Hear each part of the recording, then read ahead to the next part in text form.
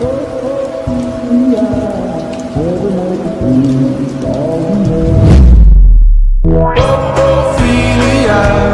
you've been on my mind, girl, since the flood.